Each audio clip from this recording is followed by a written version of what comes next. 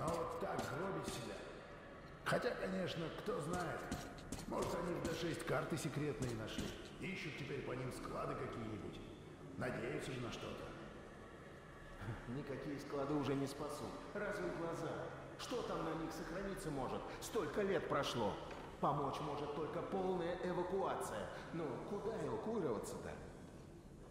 Ну, и что тогда делать?